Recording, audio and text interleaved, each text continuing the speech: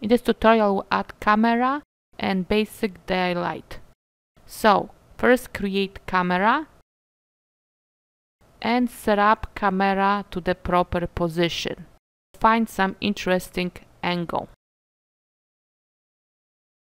Next turn on safe frame view so you can see the renderable area. After that go to render settings and set up properties for render output. Choose HDTV video and then set up the size. Under options turn on force to sides. After that assign renderer. Select NVIDIA Mental Ray. Under global illumination in final gathering section change settings as shown in video. This will give you starting point for better output.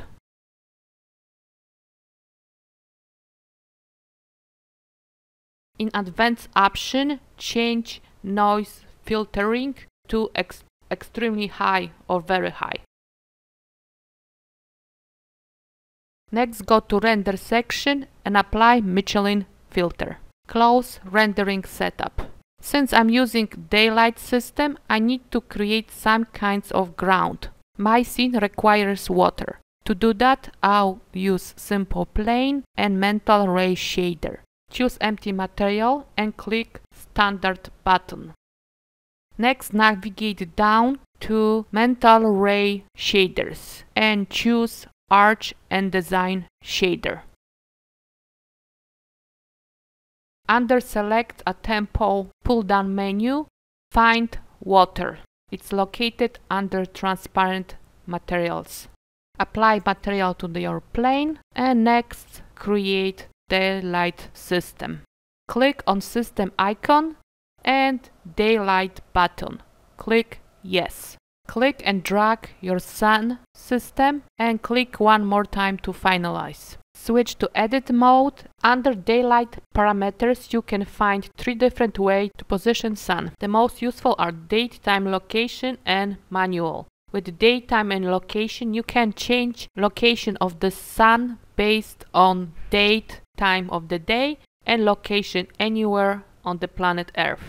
The second option is manual option. With manual option you can move sun by yourself. You can change direction of the sun and position on horizontal line. By doing that you affect the light condition. Under daylight parameters we need to apply plugins for sunlight and skylight. Those plugins are related to mental ray. So for sunlight MR sky and for skylight MR sky. So now you can render your scene preview and make adjustments to your sun position and light direction. Choose the best angle that works with your scene.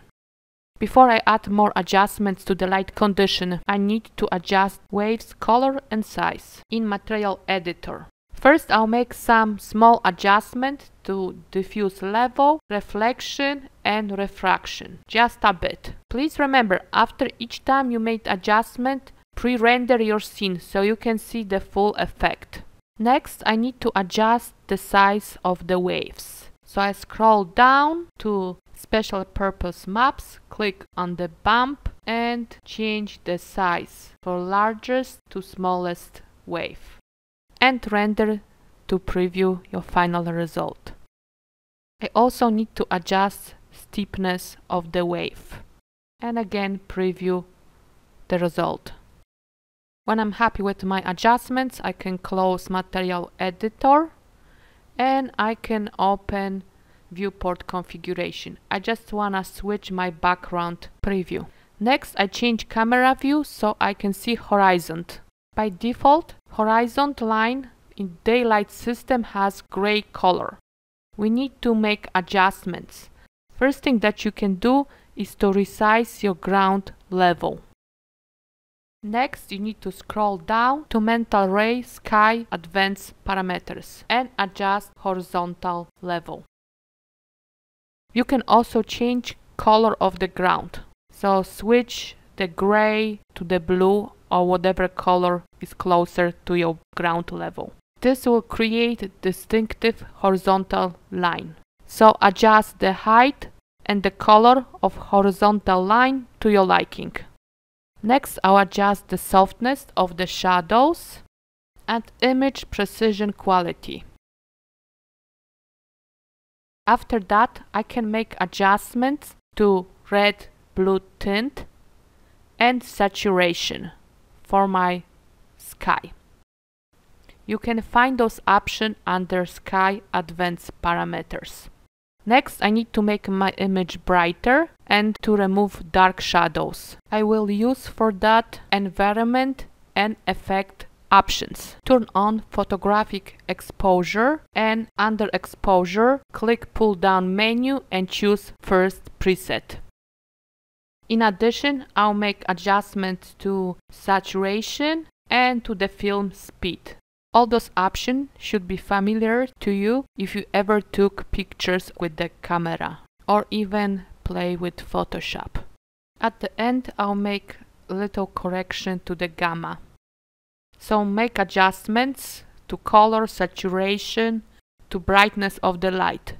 And make sure that the light condition is matching your initial sketch and idea and then render your final image. Change image size first and then click render button.